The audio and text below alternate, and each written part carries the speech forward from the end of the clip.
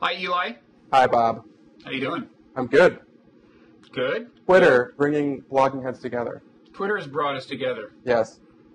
and I should apologize first of all for an unkept look that I'm currently sporting. As as am. I. I'm. I'm Are uh, you? Have you like not shaved for days? That's what happened to me. Oh no no I haven't. It's, vacation it's not that I haven't. I'm just not wearing like a tie because I'm working from home today. Oh yeah, I forgot mine too. It's so Yeah. hot out that I'm wearing a, a like a linen shirt.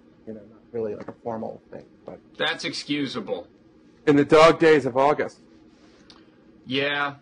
So yeah, Twitter did bring us together. Yes, it. Uh, I should probably say something about the genesis of this. Sure. This conversation started on Twitter yesterday. Um, Well, really, really, if you think about it, it started like a month ago. you could yes. Well, you tweeted something that alluded to a piece I had written a Right. month ago.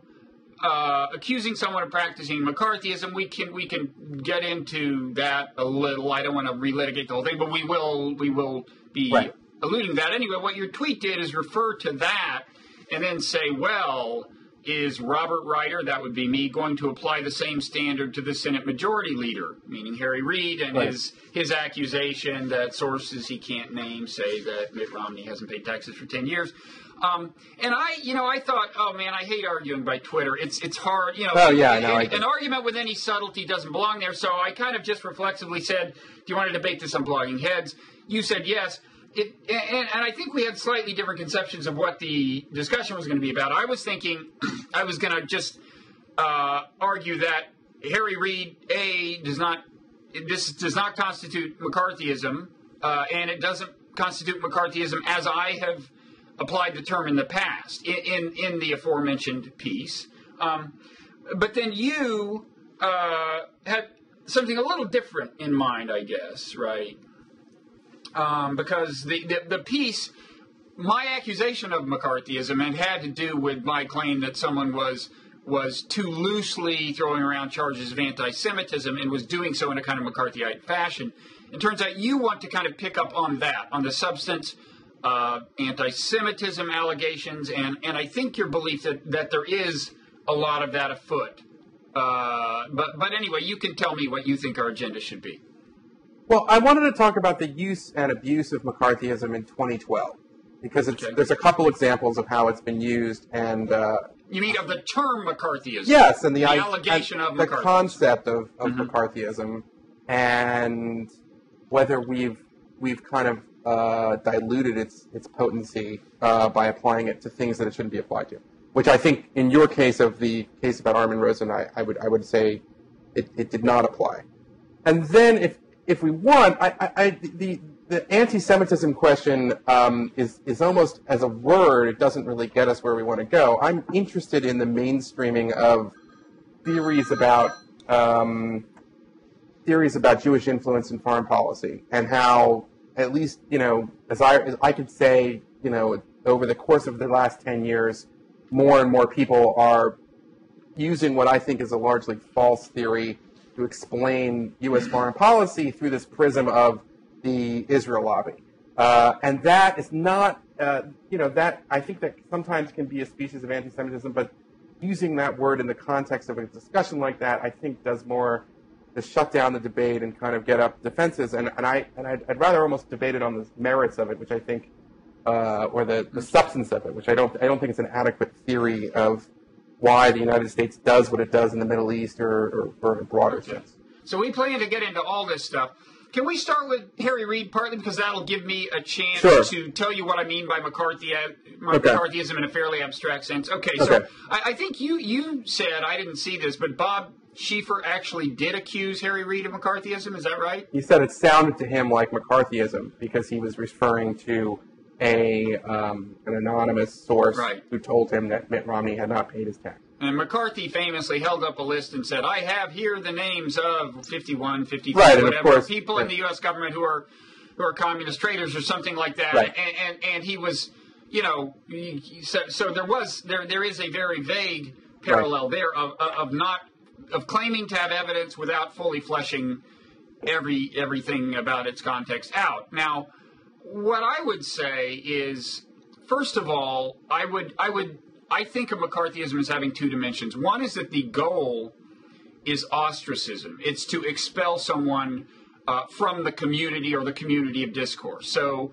uh, you know, if you if you can convince America that someone is a traitor, well, that will do it. I mean, even leaving aside the legal repercussions of them having committed treason, whatever they've done. You know, nobody's going to be running their op eds. They are no longer respectable citizens. The, the right. same goes with anti Semitism and with racism. And I think rightly, if you actually do successfully make the case that someone is an anti Semite or racist, uh, yeah, I wouldn't publish their op eds. And, and, and, and I think that's, uh, that, that's, that's good. But by the same token, precisely because uh, your goal is such severe punishment, I think you you have an obligation to amass your evidence very carefully, and that brings us to the second dimension of McCarthyism, which is a failure to do that, right? And, and a reliance uh, on things like uh, guilt by association, or as as we just said, you know, kind of saying you have evidence but not being kind of clear. Um, so I would say, first of all, uh, Harry Reid does not have the McCarthyite goal in mind. He's not trying to ostracize Mitt Romney. He's not accusing him of being being being a traitor, a racist, an anti-Semite. Um, I'd also say that the the evidence, you know, his his use of evidence is not uh, is not is not very McCarthyite, really. I mean, you know, Eli, surely you as a journalist have have said I have a source who says X, and yeah. X was very unfavorable to someone, and they said, "Well, who is your source?" And you said, "I'm not going to tell you." Right? Well, uh, let me answer that specifically, and then kind of circle back. I, I am of the view, as Seth Lipsky of the New York Sun had a style rule, and other newspapers have, that you can't just accuse someone in a news story uh, with anonymous sources of something that's like a serious kind of allegation or um, an ad hominem attack personal insult or something like that. You shouldn't use anonymous sources to say somebody is an adulterer or is a. Okay, but, but that's not what Harry Reid's saying. He's not even claiming it's illegal that Mitt Romney didn't pay right. taxes. Right. Um, but I, what, I, what I'm saying is that yes, I rely on anonymous sources all the time, but if I, I, I can't, I, I don't think it's, it's, I, I think it's, it's, I don't want to say it. I don't want to get into ethics. It's, it's, it's shoddy. I think it's not. It's, it's, it's a weaker kind of journalism to to do a kind of sources say and then have that then be the sources who are anonymous. You're giving them the cloak of anonymity to make a kind of um, you know accusation, and then you're saying, can you defend yourself against it? It's unfair to the target. Um, and if you have evidence of something, and like you can use anonymous sources if it's genuinely sensitive information, and if the person was to use their name, they would be fired, or you know violating security rule uh, classification well, rules or, or if you just like got the information under those conditions, right? If right. the person says, "I'll only give you the information if you don't yeah. you know, disclose my name, and apparently either implicitly or explicitly, assuming this person exists, right. then either implicitly or explicitly, that's the deal Harry Reid has. Right, but I agree with you that I don't think what Harry Reid did is McCarthyism, but for a different kind of reason. Because I, for me, the test of McCarthyism is is twofold, and I don't think it's necessarily ostracism. What McCarthyism uh, it makes it kind of odious is it's one an abuse of political power in some particular case. So the person making the accusation has the ability, just by airing that accusation, to ruin your life so that nobody will hire you anymore. That it's not just a matter of not having your op-eds run. In, in the case of real McCarthyism, people lost their jobs, you know, foreign service officers, because of, a, of an allegation that was based in large part on secret evidence. And that's another element of McCarthyism, which is that you don't really have a chance to defend yourself, and the allegation is so toxic that it ruins your chances of employment. It ruins your life after right. that. And that McCarthyism, uh, you know, in Washington D.C. with Senator Joe McCarthy is only the tip of the iceberg. In this period, similar like kind of local politicians use this tactic tactic against you know school board officials and other things like that. So you had a, a you know what was called at the time the Red Scare, and um, as somebody you know, who I would like to think, I would hope to think that during the Cold War I would have been, uh, you know, on the hawkish side against sort of international communism. The people, uh, you know, Buckley himself, who at first praised uh, McCarthy, later acknowledged that he did a great disservice to the cause of anti-communism. Mm-hmm. And uh, I would recommend a, a great uh, book review by uh, Michael Moynihan, the guy who mm-hmm. just sleuthed out Jonah Lehrer Right. uh, from 2008, and we can link it. I'll give you the link where he goes through. Um, it's a book review of Blacklisted by History by um, M. Stanton Evans, uh, where he really does kind of go through exactly why McCarthy was so dangerous in that respect. But to the point, so I associate McCarthyism, like the, the, the McCarthyite has to be in a kind of position of power. And so the reason why I, the first reason I disagreed with your, your piece is because Armin Rosen is an intern at the Okay, Atlantic. first, can, can I Okay, just can yeah. I just finish on Sure. Reid before Okay, we let's- move okay, to that? sure. I because you, highlighted another difference between you know McCarthyism and what Reid is doing. Yeah. I mean, first of all, you and I seem to agree that the extremity, uh, uh, the severity of what Reid is Right. accusing Romney of, does not rise to McCarthyite levels. It wouldn't, you know. Well, it's a uh, serious allegation, but it's also Romney himself is a powerful figure. He's not in danger of losing his livelihood. He's running for president. It's a presidential election. He's a public figure. The Senate Majority Leader is also a public figure, and this is really more in the realm of you want to criticize it. You know, you could call it mudslinging, but I would say it doesn't rem- it doesn't rise to the level of McCarthyism. Okay, and I just want to point one Yeah. one other thing you alluded to. You, you Yeah. said the person doesn't have a chance to defend, you know, uh, him or herself, and and that was it, that wasn't just a power thing. It was like it was in the nature of the allegation. It was like McCarthy is saying, "I think you have some communist association somewhere." Well, you can't prove, right? It's like you can't prove that negative. You can't prove that you've never, ever, ever, you know. Whereas Mitt Romney, it's totally in his power to disprove this. It's simple. Release the taxes, and if it's not true, it will be evident. So I think, in that sense, too, uh, the, the charge is just not as as unfair as a classic McCarthyite charge. Right, right. Well, we agree. It's not the Harry Reid is, is not is not that's not McCarthyism. It's only the only element that's McCarthyism is the use of secret evidence in a public forum and by a powerful politician. But because his, his target is another powerful politician who won't lose his job because of this, because as you said, he you know it's it's it's this is not like sort of trying to prove that you know you were never a member of the Communist Party, which is a very hard to prove a negative. It's your tax returns, and it's in the context of a kind of political debate. Uh, I think it's wrong to call it McCarthyism. okay. Okay, so moving. So now you want to talk about this thing, which actually, when I said on Twitter, let's debate this, I didn't actually anticipate talking about, but uh, if you want to talk about it, fine, which is the, the, the backdrop of this, which is that uh, this guy at the Atlantic, whom I've since talked to, I had not talked to at the time, you know him. Is that I do. I also know him. Yes. Right. Uh, named Armin Rosen had written this piece in the Atlantic. Uh, let's see, I want to make sure I'm not characterize it unfairly. Well, he said, uh, y- you know, uh, this guy A- Alex Kane is that's the uh, the staff writer at Right. Mondo at the website Mondoweiss Right. Had had posted had already posted something I think on, on Peter Beinart's blog Open Zion, which is part of the Daily Beast and hence Newsweek. My right. So right. And, and, and, And I'm not- Which is, I'm- I'm which not telling Peter what to put on his employer. So we're talking about Yeah. my employer, the Atlantic, and your employer. So really, if we had any brains, neither of us would say anything further at all. Right. But, But, fortunately, uh, but, but anyway, he was saying uh, they should not have published Alex Kane. Uh, a, he was saying a reputable site like Newsweek shouldn't publish, as I understood it, he, Alex Kane because Alex Kane works for Mondoweiss, and and then uh, Armin uh, argued that Mondoweiss, I forget how he phrased being it, an anti-Semitic enterprise. gives the appearance or something. Right. Uh, uh, yeah. So, so I said, so just to finish out the Yeah, yeah. analytical part, I thought this did meet the two criteria. A, the um, it, I think it's a very grave charge: anti-Semitism, racism. It's, like communism. It's it's like yeah, you, you you would have trouble getting a job. I mean, if you Uh, successfully stigmatize, no, seriously, if you Right. convince the world that no respectable publication should should should publish this person's work. Well, that's a real career liability. Okay. Okay. And and and and I thought it was um, the the evidentiary part of it.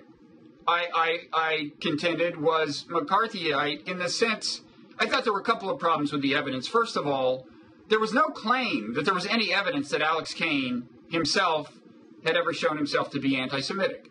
The argument was, well, he works for this place, and, and I said, well, first of all, that's guilt by association, uh, you know, McCarthyite thing, and then secondly, when it came to his argument that Mondo Weiss is uh, anti-Semitic, I mean, I don't know enough about Mondo Weiss or any other s- site to uh, to stand up and say, you, you, you know, the, you, there's there's no you'll you'll find nothing on the site that's anti-Semitic. But I did follow the links that Armin provided, and I said, well, he's clearly operating with a looser definition of anti-Semitism than I am, and and I think if you're going to make what I think is a very grave allegation of anti-Semitism, you need to be really rigorous. You need to say, okay, this is what I mean by anti-Semitism. This is what constitutes it, and and this is and this is why this qualifies. And I just didn't think that was done.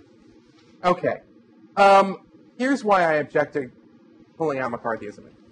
One, Armin Rosen is um, not a powerful person yet. He's an intern at the Atlantic, and he doesn't really have the uh, power. I mean, I, if it was a hugely, you know, if it was a, a, a Tom Friedman, if you will, right? I mean, that may be because he has such a platform and everybody reads him or something like that. But Rosen is not there yet. In fact, he's, you know, he's he's he's just sort of making his bones.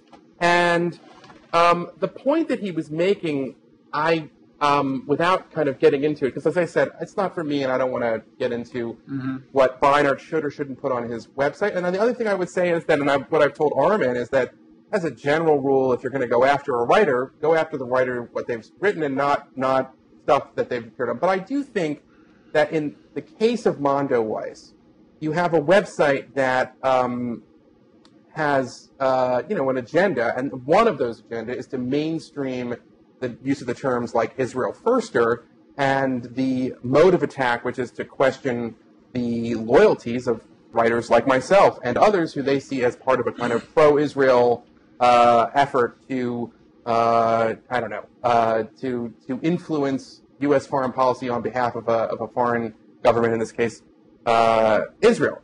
And, and and again, I would not use McCarthyism for Mondo Weiss because they're a fringe website that doesn't have a lot of influence uh, beyond people who go in for that kind of thing. You, but you wouldn't accuse them of McCarthyism no, because, because they're not because enough. right because they don't. If, if, Mondo Mondo Weiss has said things about me plenty of times and, and other speaks like them, and it has had zero effect, and I and I don't expect it to have any effect on my career or in anything like that. So again, the the threshold of being powerful and having just the allegation be toxic and from a powerful enough person that it would be uh, so limiting and ruin your life in that sense. Mondo Weiss does not have that power. But I thought it was ironic because one of the things that they want to do, it does echo of a kind of element of that McCarthyism, which is to make the claim that what one believes intellectually or what one thinks uh, is evidence in and of itself or a priori of disloyalties to the United States. And that was the other thing about McCarthyism that's so toxic, which is that he, he, he was unable to distinguish between liberals in the 1930s who wanted you know, the New Deal program to succeed and real communist spies and communist agents. And the failure to distinguish between somebody who thinks labor unions are a good idea and somebody who wants, you know, Soviet cells all over the United States to subvert the American government is another feature of McCarthyism. And I would say that the rhetoric and style of a Mondo Weiss is to conflate pro-Israel Americans with um, you know, foreign agents or agents of influence on behalf of Israel. Okay. Let me say, first of all, you know, as I said to you in an email before this, Yeah. when I discovered you wanted to talk about Yeah. this stuff, you know, I don't want to try anyone in absentia here. You know, enough. Or any person. Um, it's like I'm not qualified to defend them, and and Okay. so I think I think anyone, you know, if they want to argue with you on blogging heads, anyone they they want to appoint is there, you know, that's that's fine with Yeah. me, and I assume it's it's fine with you. So I'm not. Uh, you know, you That's a fair enough I- point, I'm, but I'm they- not going to step in as Yeah. the defense attorney. That doesn't Yeah, make sense. But enough. But I will. The, the one point you made about uh, in terms of my argument that Armin didn't have wasn't a powerful figure. Well, he was saying it under the Atlantic's brand, and that's a that's that, that's a magazine that over more than a hundred years has earned you know very uh, significant respect. So there was, in that sense, power behind the allegation, and that's the only reason I bothered to reply is because I work for the Atlantic and I didn't want to see the name used in that way. Um, and, and so there was that kind of uh, power behind the allegation. Uh, but but that's that's kind of a footnote. Uh, you know.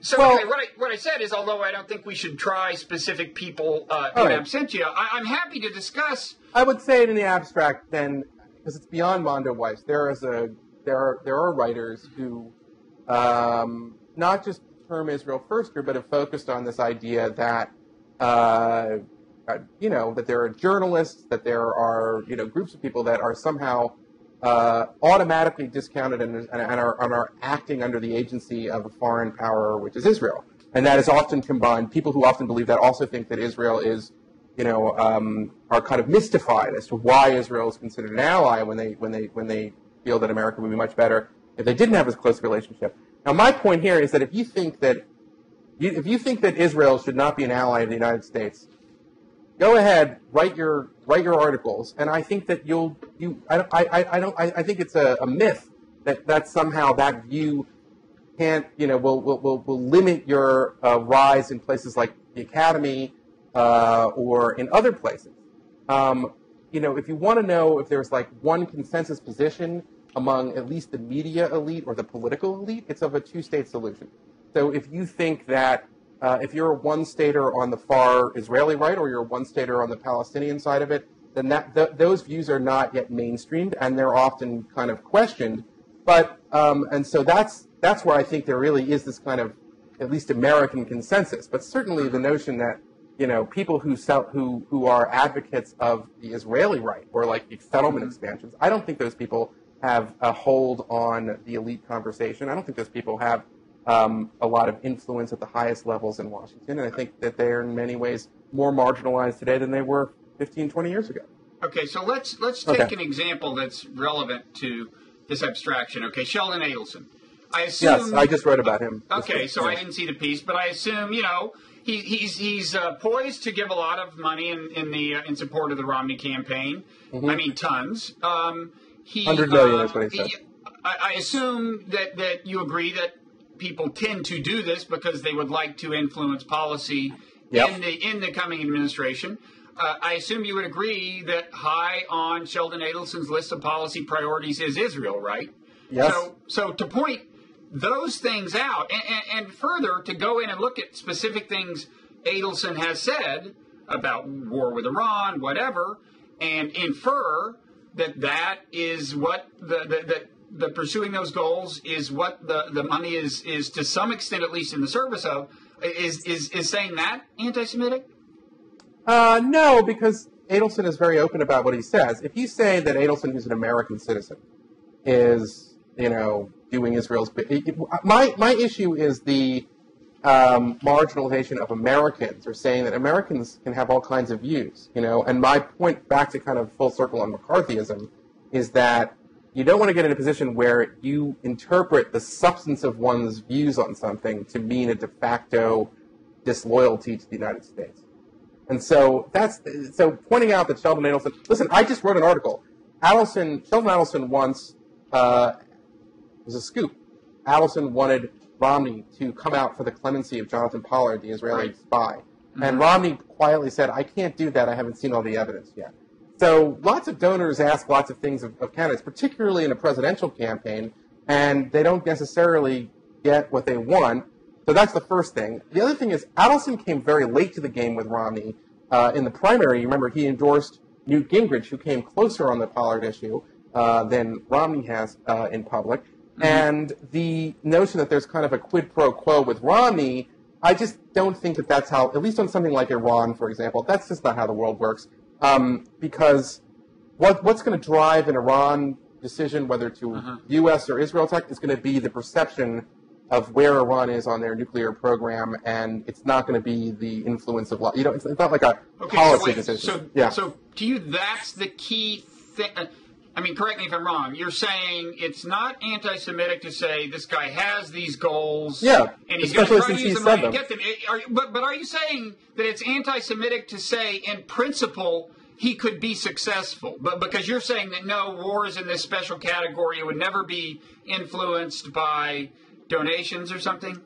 Listen, if you say that Adelson, who has himself said, I would like the president or the government to do X, Y, and Z, okay, well, then that's just factual. the, re, the where it gets into an area, as again, uh, I mean, if you want to call it, I, I, I think it's a species of anti-Semitism, but it's certainly not the same as the Nuremberg laws or other kinds of things. Um, but it, where it gets into problem for me is if you say But that wait, wait, what is it? What is a species of anti-Semitism? when you say that Adelson is more loyal to Israel than to the United States because of the substance of what he'd like to see the United States government do. Um, That's the, okay, that- so, that's the so problem. It's, so, it's, it's the Israel firster so if you make the Israel lobby argument without using the term dual loyalty, or or Yes, if you say that he has an agenda, and here's what it is: he wants you to release Pollard. He wants you to, uh, you know, let you know, not, you know, I don't know. He wants you to, to stand aside if Israel was to attack Iran. He wants you to do this, that, and the other. These are the things that he has himself said, um, and he has a lot of money. Then that, to me, I, I don't see any problem with that. So what would you say to a Leon Wieseltier who wrote a thing a long time ago, if I'm remembering correctly, saying, although I may be relying wholly on a paraphrasal by Mickey Kaus, so, but but but saying, and this is kind of my feeling in a way, is everyone has lots of loyalties. It shouldn't surprise us if someone has a loyalty uh, to something other than the United States. I do. You know, there there are there are things I care about that are not just the interest of the United States and that may not be wholly aligned with that. And in the case of like the Cuba lobby, we talk about it in a very matter of fact way. We say that we say that uh, you know some of the support for NATO expansion was to get Polish American votes in the Midwest or something. You know, and and that that yeah seems like could be. So what what do you? It, if Wieseltier says, sure, there are dual loyalties, and some of them involve Israel, and there are dual loyalties involving other things, and quadruple loyalties. I mean, is that that's Well, I, I'm not- to you? I'm a huge uh, Leon fan. Are you still there, Bob? Yeah, I'm here. Okay, I'm I'm a I'm a big fan of his writing, and unfortunately, I have not read that essay. well, Um, I'll so- have to ask Mickey. Mickey, Mickey uh, yeah, but um, is is the is the definitive source on this. But but I think the upshot was, and and uh, is why need it be inherently scandalous when we you know uh, you do talk about the Cuba lobby that way, right? No, I don't think that the Cuba. First of all, the Cuba lobby would, would does not have a homeland because they're against Cuba.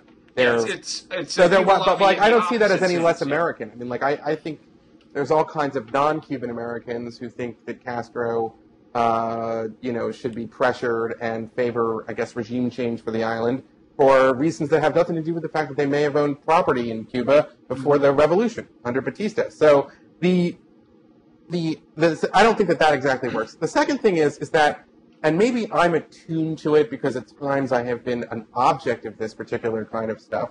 But the problem is, is that there seems to be a kind of special obsession in the last ten years with the Israel lobby, as I think a theory that, at least the theory itself, is overdetermined. It's like the the reason like I mean you wrote something recently and I'm not in any I'm not I want to I'm not calling you anti-Semitic I know you and I'm not that's not what I'm doing here but you wrote something in June about how Obama was worried about uh, his reelection and what it would mean with the pro-Israel lobby and that's why he couldn't do everything he could in a negotiation with Right. Iran and that just strikes me as so like Wait, wait, you think really seriously, Eli, Yeah, yeah. that the things that Obama is saying about Iran are not at all influenced by the kind of reaction he anticipates uh, from people like AIPAC? You really think that? I think that your theory of to why Obama did not give everything the Iranians wanted in the nuclear talks manages to totally ignore the actions and behavior of Iran themselves and the history of their negotiating behavior where they act as if they want to reach a deal and then suddenly that deal evaporates and goes away. And how many times that's been going on.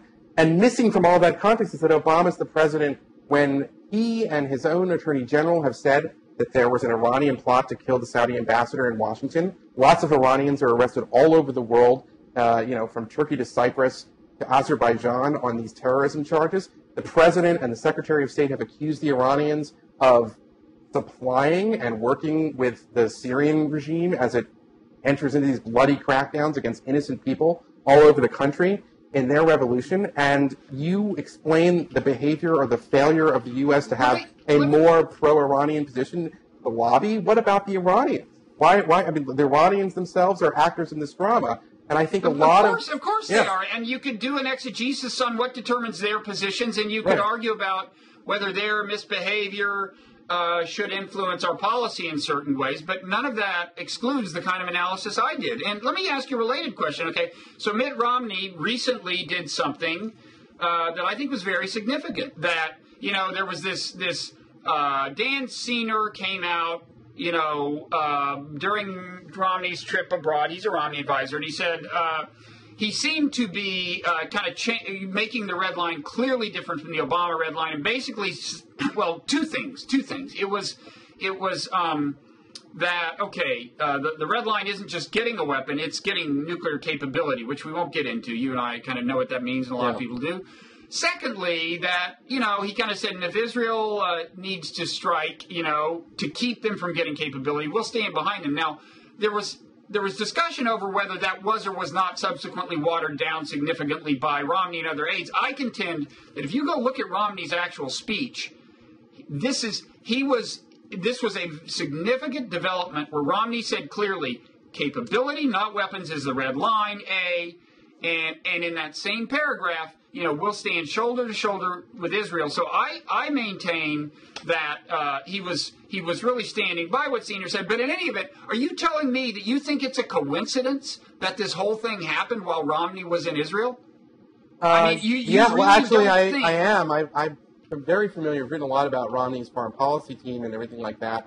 Um, and I can tell you that Romney, since 2007, in his speech to Herzliya, has said Iranian capabilities. And Romney and every other presidential candidate has also said they respect uh, Israel's decisions or rights to defend itself, including Obama when he's been sure president. in the abstract And this is the I'm saying I'm saying this stuff right here is the is is is clearly kind of what you do in the middle of a political campaign. You say a lot of things, but I have to tell you that the, the unspoken word in all this sort of talk about the influence of the lobby, as it were, is that the lobby is a cheap date. Every politicians have been promising to move the embassy to Jerusalem, which, by the way, would would would have enormous diplomatic consequences for the U.S. positioning uh, in the Middle East overall, and particularly in terms of the conflict. It couldn't really be an honest broker if it did that.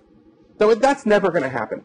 But people promise it anyway. And so a lot of this is just symbolic posturing Right, but war that actually Iran is not doesn't, and that doesn't, what? War with Iran is not symbolic. No, it's It was- not symbolic, but I'm telling you that like what, that w- the decision on what happens about whether when the Israelis if they decide to do something or if the U.S. decides to do something, or frankly, as we now know, there's been a I mean, like there's a great new book by David Crist I highly recommend. Go through it. You can see that there's really been what he calls a twilight war, a secret war between the U.S. and Iran since 1980, 1979. But the point, the point being that, and, and, and, we now know also, by the way, that Obama has in meant probably escalated elements of that shadow war, including in the cyber front. So, you know, my view has always been that presidents are going to do what they can in the shadows to try to deter, delay, and sabotage the Iranians, and then try to do as much as they can uh, without it getting to that point. But that's those that's like the real decision, and it's going to be driven by intelligence, not Okay. by lobbies, and that's Okay, the, so- that's the key thing. Okay, so let me just make sure though Okay. that I that I um, understand you. You you you think that um, both you know our negotiating position with respect to Iran um, and everything else uh, that influences the chances of war um, with Iran uh, has no, has not influenced at all the policies uh, and utterances of Obama are not influenced at all by concern about AIPAC, evangelical Christians who are, you know, so-called Christian Zionists or whatever, uh, Jewish voters in Florida, whatever. You're saying you're saying no significant influence. I'm saying, well, significant influence, however you want to measure it. What I'm saying is that you cannot explain the negotiating positions, which probably we don't even know because a lot of these negotiations happen, you know, you hear one thing afterwards and what is said in the room is usually a little bit different. But, but the, when you wrote that the reason why Obama has not had a package that the Iranians can accept uh, is because he doesn't want to offend the lobby, you were asserting that the cause of his diplomacy was the lobby. What I'm saying is that I think there are a bunch of different factors that are the reason for U.S. diplomacy. I'm not entirely sure we know exactly what the diplomatic position really was. Well, I- I- and more importantly, I think that you know the burden is now clearly on the Iranians, and the effect of that piece that you wrote is that if it weren't for the lobby, we may have a peace deal. Crazy. I Uh, think I think that we don't have a peace deal because the Iranians want a nuclear weapon and they want to use these talks to delay, and I'm basing that on their behavior, you know, for the last almost ten years now. Well, we'll link to my piece. Okay. I mean, I actually don't think right. I used the term Israel lobby until the last paragraph, but you're you're, you're certainly right that I said that uh, it was, uh, and I'm not the only one to, to report this. Um, Yes, there is a rising. It's it's it's it's, it's no, but I becoming mean, a popular theory among a certain kind I'm not saying he said exactly the same thing, but you know, Ron Kampeas of, of, of, of JTA, I was relying on his reporting. I'm not saying he buys into my thesis entirely, but I'm sure you'll agree he's a good reporter, and, and he reported on assurances that were given to you know whatever it is, the organization of organizations. You know, you know, Conference of Presidents right? the uh, of uh, uh, King, Jews. King of Kings, as Mike Kinsley used to right. call it. Um, the uh, so you know, uh, I- it's it's not like, and, and and and here's the thing, is when you talk about to Washington people in the NGO world, the think tank world, arms proliferation world, and I've talked to a number of them Yes. who are very focused on this issue. As it's not even Eli. What I said is not even controversial. The Yes, argument, among among in, in that crowd, a lot of people think that. I mean, the, but the well, argument, but that doesn't mean the it's argument right. is, It means well, the rod is should deeper than we thought. Be caving. It's not is he caving. It's I, I mean, a number of people will say, look, until the election, he can't afford to offend these people. But what I reported, and this is why I I, I said it out loud, is because. Every everyone I talk to in Washington takes it for granted, but no one is saying it. Well, you ought to get you, ought to get out more. But um, I would I would uh, let me let me let me rebut this though because I happen to have it in front of me. Um, writes that administration emphasized that they will be steadfast in holding one key Israeli demand that sanctions not be sacrificed to the negotiating process. But that is in fact the Obama position. The Obama position has been we gave them a period where we paused the sanctions and we tried to reach out to them. And he wrote them letters and he did all kinds of things. And when there was the moment in June 2009 when lots of Iranians came to the streets because they thought an election was stolen, uh, the administration was slower to react to that, and they still kept trying to get this negotiating process going. And the Iranians, remember, the Iranians, they were the ones at the time being obstinate. And now that it's come around and they're back to the table, the administration says at every opportunity you can ask, see, our strategy of engagement and then sanctions has worked. And I just think that you're making a mountain out of a molehill. If the Iranians had decided that they were going to suspend their enrichment, then I think you would find that there would be sanctions that would in turn be suspended, probably. And as I said, also Uh, understand that we don't know we don't know what the content of the negotiation package is. We know what the White House or National Security Council official told the Conference of Presidents. One of many stakeholders, I might add, Well, that the not- White House like meets with to discuss this very important issue. It's not Okay. like that's the only uh, evidence by any means. Um, No, but my point my point is is that that like what are we even talking about? The, if the Iranians wanted to see the sanctions relaxed, there's a whole bunch of things that are in their power to do right now, and they haven't done. So Well, so well, so you're uh, saying yeah, the fact that, you- that, that the Eli, sanctions have not been if you- I relaxed mean, this for should- nothing is evidence of the lobby's influence and power. I say no, it's evidence of a strategy that says we think the sanctions. I mean, that's what that's what they think. I don't. I, I'm not. First of all, I want know, to you put keep, myself on record. I'm skeptical the of that term the lobby to me, Eli. I almost never use that term. Okay, and and Okay. you know, I mean, I don't I don't think it's anti-Semitic to use it, and, but but I, I just almost never talk that way because I don't think of it as some kind of centrally coordinated thing. Okay, so Good. don't. It's Good. kind of you know Okay. that that's not the way I conceive it. Okay. Um, but I will say that, that just we shouldn't spin the whole conversation on Iran. But when you say there's a whole list of things that they could do, Right. well, sure, if they face no political constraints of their own, and the most common mistake America makes in foreign policy is to not appreciate that all foreign leaders face domestic political constraints. You can call them dictators, you can call them autocrats. They all have coal have have constituencies they have to please. And and it's very very hard politically for an Iranian leader to say, "Well, we're just going to suspend enrichment with no particular assurance of getting anything in return." That is that is at least as hard as Obama making uh, the kinds of gestures that he finds it politically difficult to make.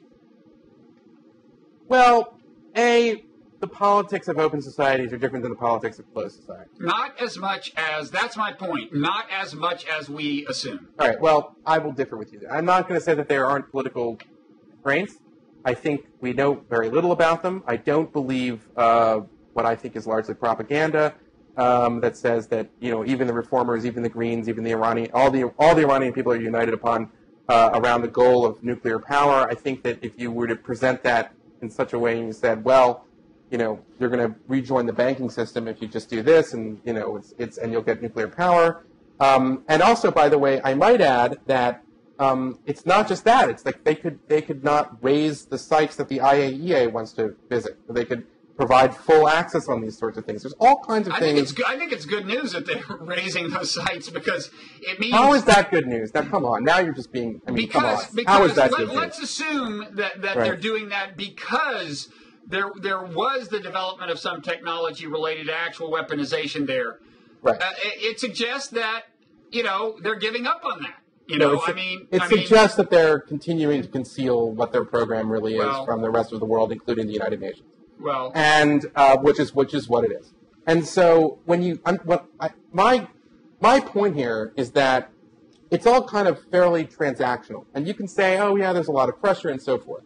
And as we said in the last one, and you were very excited when I acknowledged this, that there were rational reasons for the regime to want a nuclear weapon, uh, because they look around and they see what happened to Gaddafi and they see what happened to Saddam, and then they notice it didn't happen in North Korea, um, which I don't think concedes all that much. But um, but that's kind of well, no, where it that's is. because the whole but Eli, this is crucial because the whole. And right now, you know, at this moment, there's there's a huge drumbeat for war in the Israeli media, or, or, or m- being mediated by the media, coming from from some people uh, in, in in government. And the whole argument is that no, they don't want this nuclear weapon just for deterrence. These people want to wipe us out. They're cra- or, or, or, or they'll or, or, or they'll use it for a more generally assertive and aggressive military policy. So no, this is crucial. If you conceive that it makes sense as a purely deterrent matter for them to want nuclear weapons, that's very important to the analysis of whether war makes sense. Right. It's deterring people from taking more serious action against Iran as they, you know, aid and abet the slaughter of the Syrian people, support terrorist groups all over the world, and continue to con- intimidate not just Israel, but lots of other people in the region, and, and, and on and on it goes. Well, I- so I- if I- they I want to continue their bellicose really- behavior and their secret war with America and their Okay, secret but- war with Israel, if they want to continue all that, as the yes, they want a nuclear weapon. Attacking Eli, the, the rationale is they want to wipe Israel out. They do want to wipe Israel out. They do. I just I'm not so sure that they would do it with a nuclear weapon because they know if they did it that way that they would themselves have a nuclear attack on. Well, So- well, anyway, it's very analytically important that there is a totally rational reason for them to want nuclear weapons as a deterrent, given their perception of the world. That that they that, you know they see America as an encroaching enemy, um, and and you know it, from their point of view, it kind of makes sense. Right.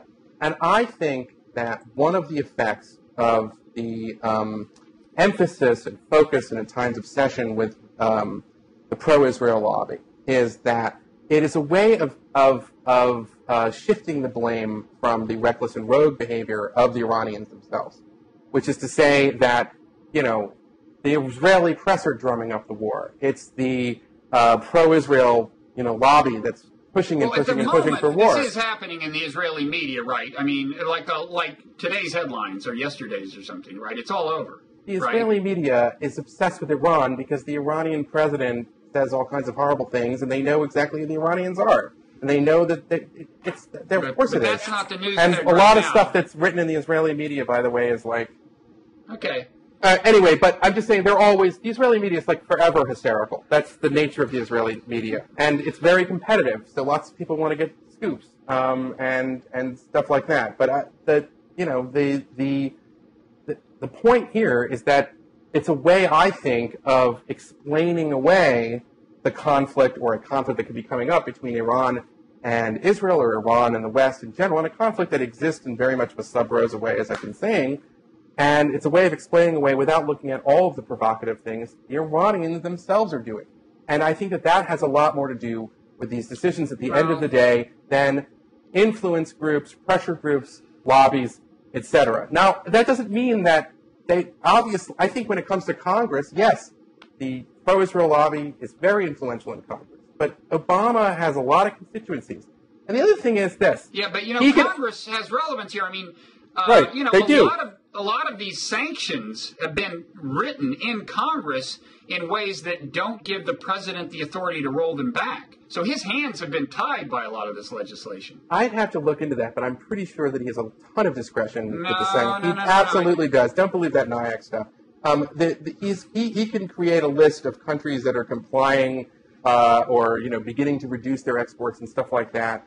Uh, there's a lot of discretion. There always is with the executive branch, and even if there wasn't, this president Okay. has been, been similar to Bush, has asserted that he has you know certain inherent authorities of the executive branch to ignore elements of the law that encroach in some ways on his constitutional Okay. authorities. But the point, but the, all these things kind of give them give them a lot of discretion, and they themselves have touted as a policy success how pressure and sanctions have forced the Iranians to come back to the table, and they see this as their own kind of success and as an alternative, I might add, to war as well. And you know, I I'm just on the substance of it, I don't think it's going to work. I don't think that sanctions that affect the Iranian economy are going to force Iran's leaders, uh, precisely because I'm skeptical of the point that you made earlier, which is that I don't think that politics are as important in a place like Iran. I think that uh, the leadership can do all kinds of things that would, are not popular with the uh, Iranian people um, because they, they, they can steal elections and they, can, they, they don't really particularly, uh, they're not an open But society. Eli, it works both ways. To some extent, it's concerned with popular opinion that makes it hard for them to cave into sanctions because that is surrender to a foreign power.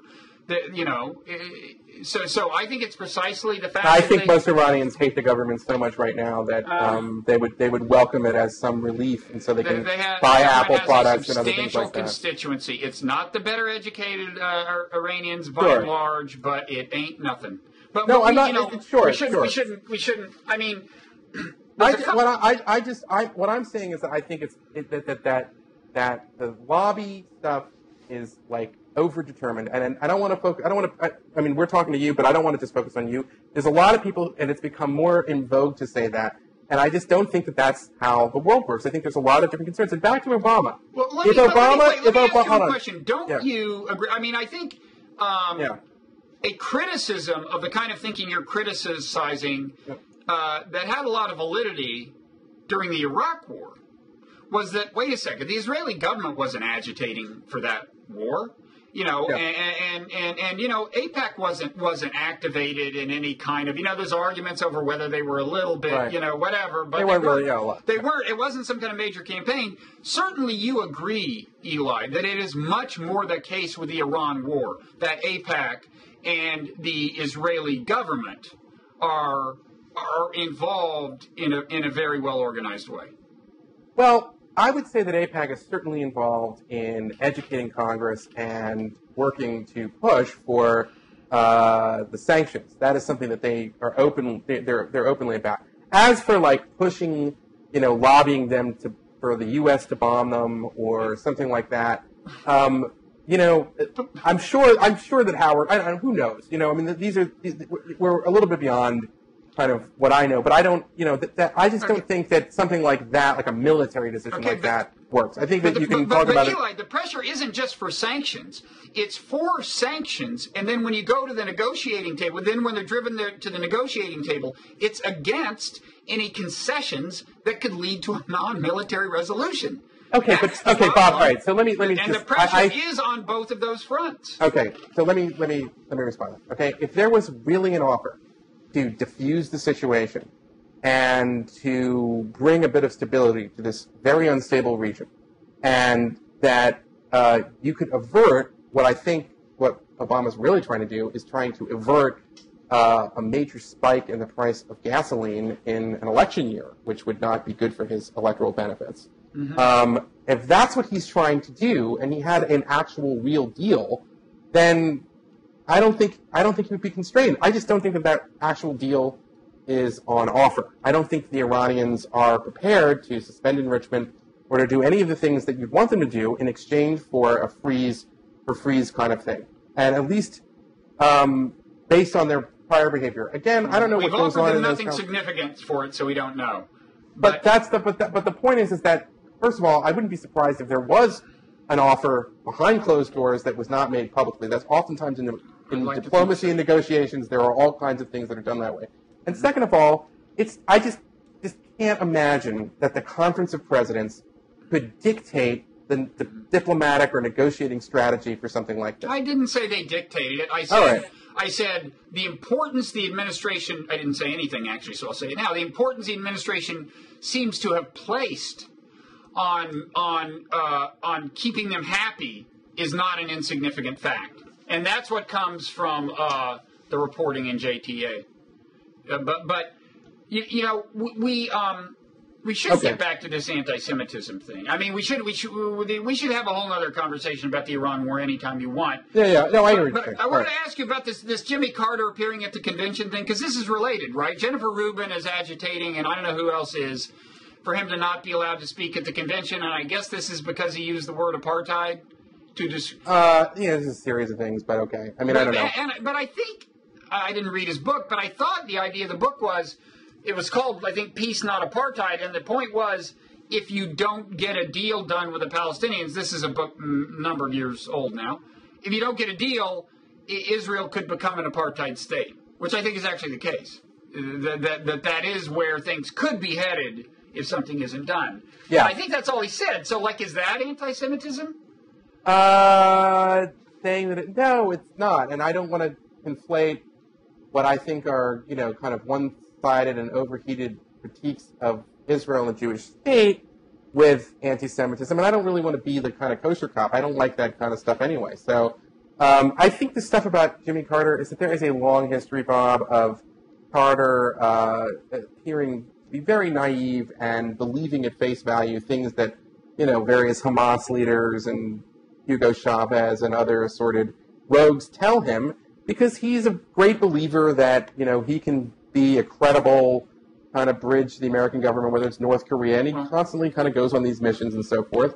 And when you do that in the context of the Arab-Israeli conflict, with so many emotions running high, and he meets with a guy like Ismail Haniyeh, who's part of an organization that is eliminationist and unrepentant in its eliminationism of Israel, at least in its charter for now, that I think is the kind of thing that would rub uh, Jewish Okay, Democrats you know the what? wrong way. You know what? All the subsequent presidents who have been less willing to talk to all parties and consider all points of view, I think, have all failed to deliver a deal as significant as the one that Camp Carter delivered with Egypt. Isn't that right?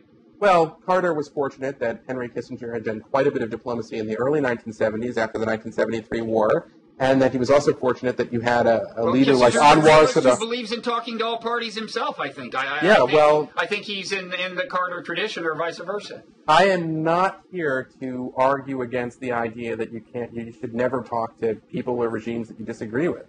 But, um, and the uh, peace deal with Egypt, even if it falls apart tomorrow, was a, a great uh, benefit to Israel's security. There's no doubt about that. Um, although one could say, depending on sort of the light of history, that under that peace deal, the, the, the cold peace, um, you had a population that became more and more anti-Israel, um, in part spurred on by the you know state-funded press and um, the kind of posturing of various Egyptian politicians. But still, Israelis will tell you that it was a that that it was a great thing to have the Camp David Accords. And it's by the way, the Camp David Accords are what has enshrined uh, to this day, the uh, nearly three billion dollars in military aid that Israel gets every year, and the nearly 2 billion that Egypt gets every year. So Mm-hmm. Carter's legacy is also his military aid to Israel. Okay. Um. But if I, I, I think it's the post, it's the his post presidency that um, that so uh, pisses off, and I think it was the fact that they saw his book "Peace Not Apartheid" in substance to be very one sided, uh, and uh, you know, listen, it's it, see- it's highly emotional. I have is. noticed that you have, in recent years, more than you did before, kind of waded into this this territory, and as you can tell, it is a highly emotional, highly charged area. And I hope if I can, if I if we could get one thing out of this this conversation, it is really that um, that something as complicated as what's going on with Iran, uh, let's not have it overdetermined by AIPAC or the Conference of Presidents. That's my that's my if I can if, so I've there's accomplished that one thing in this this conversation. I would hope we could agree that there are there it's a complicated several things, and that we should always keep in the front of our of our of our of our mind the um, the uh, record of the Iranians themselves, which have I mean, which I have you have to say under Obama. That's two things. You want us to keep two things in mind, Eli. That's asking a lot, but go ahead. No, but I'm saying if you look at the Iranian behavior under Obama, okay, Mhm.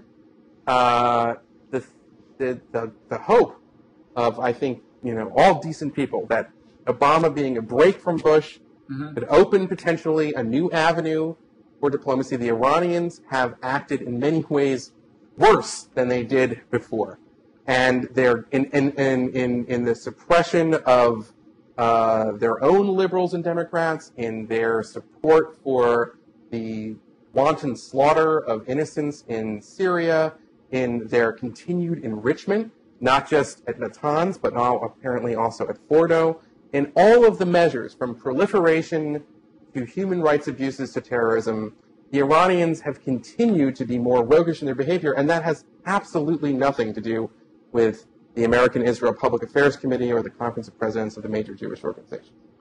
Um, I agree that that has nothing to do with that. Okay. Iran's behavior is is a separate force, and there are many forces that enter into this. Um, the uh, okay, so let me make a couple of things that I would like Okay. us to keep in mind. Um, first, I, I haven't made these points. I do want to say I really think that uh, you know trying to enforce a speech code that would keep someone from using the term apartheid the way Carter used it, which is to warn that Israel may be headed down that path, is genuinely bad for Israel.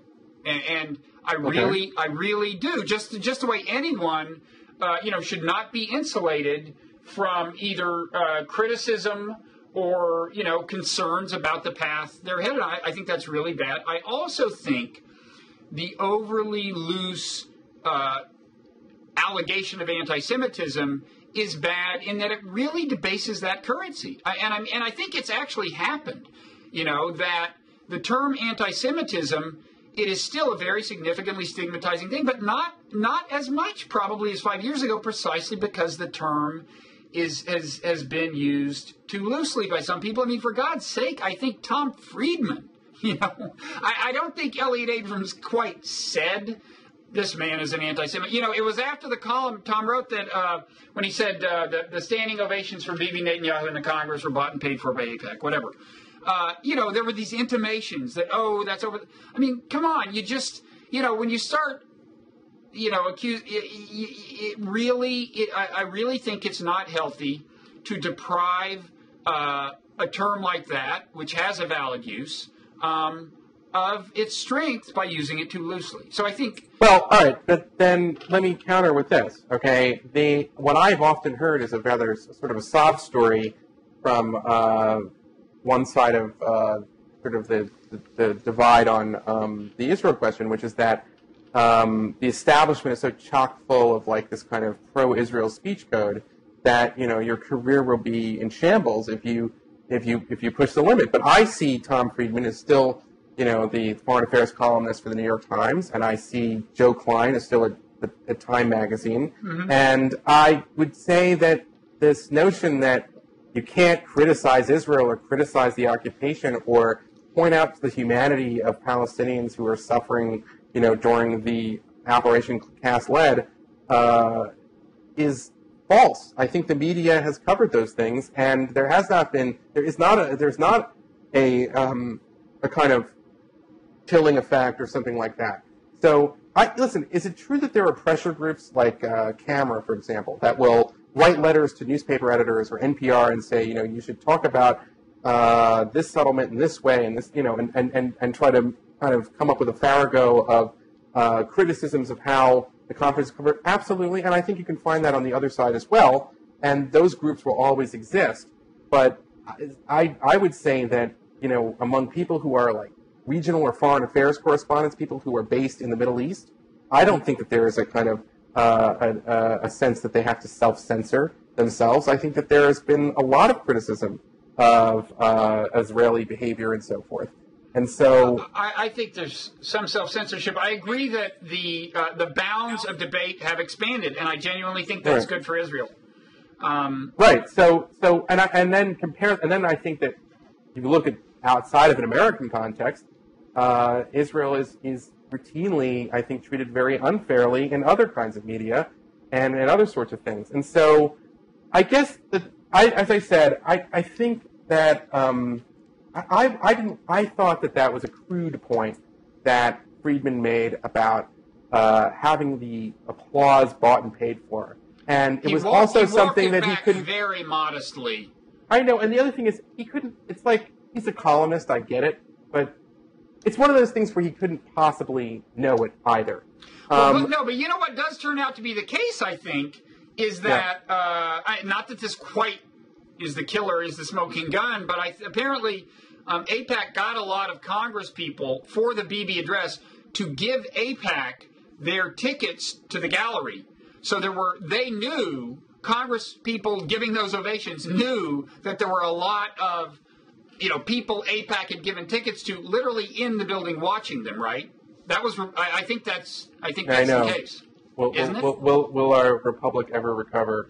Well, What's the I'm scandal saying, there? I mean, yes, look, of if, course. If he's making the argument that I mean, that is a that is certainly a link in in the uh, in the argument. You know, if you ask him to flesh out what do you mean these standing ovations were bought and paid for by AIPAC, I think that's a fact he would bring to your attention.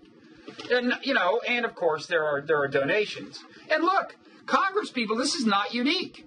They are, you know, they they have all kinds of lobbyists who exert all kinds of influence on them and it's not like this is in that sense sui generis. You know, it, it's um, it's it's it's business as usual. But um, anyway, the, the bounds of debate have uh, right.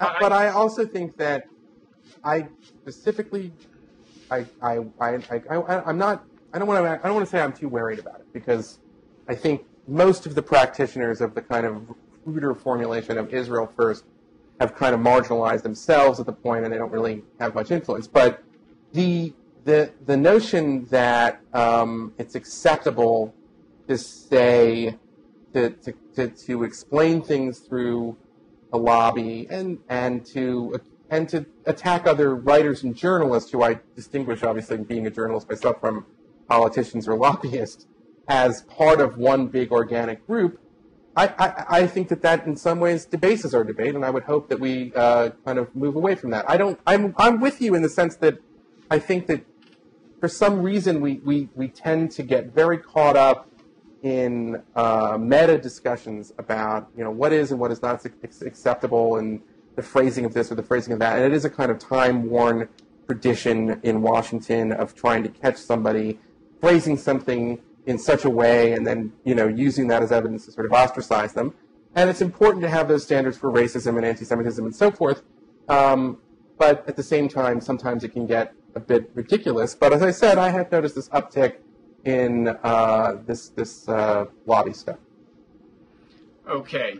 Well, all right. Well, that was, that was that was pretty good. I mean, we were it was contentious this time, Bob, but we were. Well, this was very civil. I think it's I, It's always civil with us. I, I'm less concerned about the future of our republic, having witnessed this civil discussion.